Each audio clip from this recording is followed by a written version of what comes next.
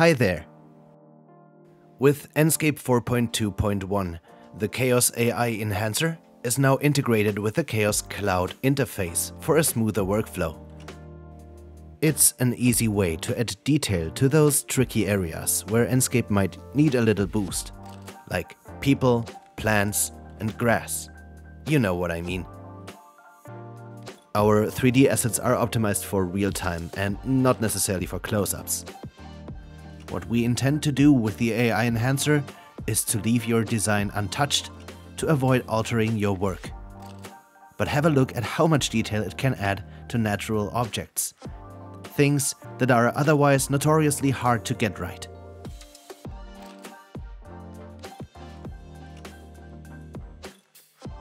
And the best of all, using the Enscape AI Enhancer is simple.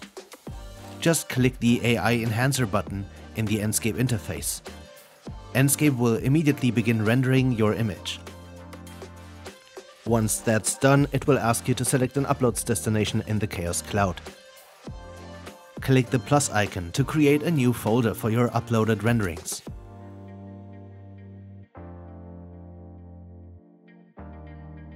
You can also rename your rendering right here by clicking the pencil icon. Click this button to upload the image to the selected location on your Chaos Cloud. On the following page, click View in Cloud to review your upload and begin the enhancement process.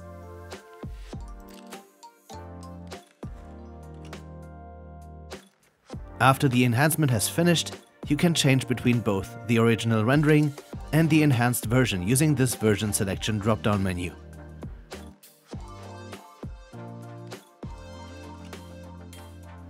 This is also where you can choose to compare both versions directly side by side.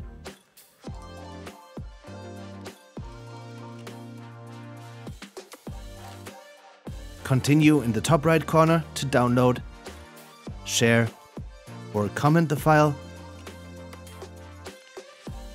or click the arrow in the top left corner to return to the overview of all uploads in your Chaos Cloud.